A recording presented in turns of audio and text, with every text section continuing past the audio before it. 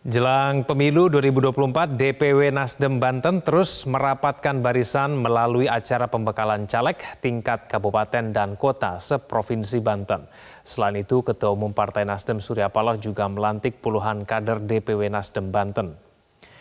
Acara ini turut diikuti oleh 1.800 undangan termasuk di dalamnya 520 orang bakal calon legislatif pemilu 2024 dari 8 kabupaten dan kota sebanten. Sebanyak 30 kader dilantik secara langsung oleh Ketua Umum Surya Paloh, mulai dari ketua, wakil ketua, hingga sekretaris dan bendahara.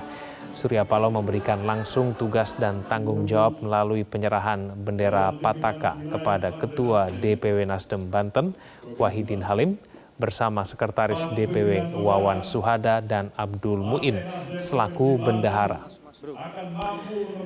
Menurut Ketua DPW Nasdem Banten Wahidin Halim, targetnya di pemilu 2024 mendatang adalah bisa meraih tiga kursi di DPR RI, 12 kursi di DPRD Provinsi, dan 40 kursi di DPRD Kabupaten Kota.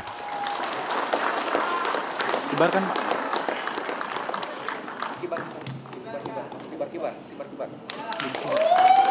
Ini yang diberikan beberapa Partai Nasdem sama ketua terpilih Kakak Dokter Haji Wahidin. Sementara memang harus tiap dapil harus ada terisi semua.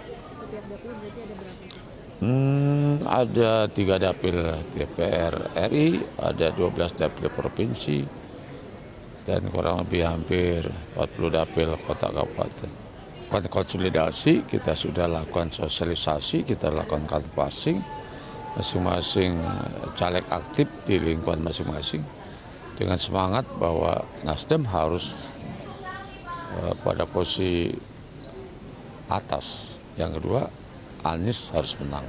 Jelajahi cara baru mendapatkan informasi. Download Metro TV Extend sekarang.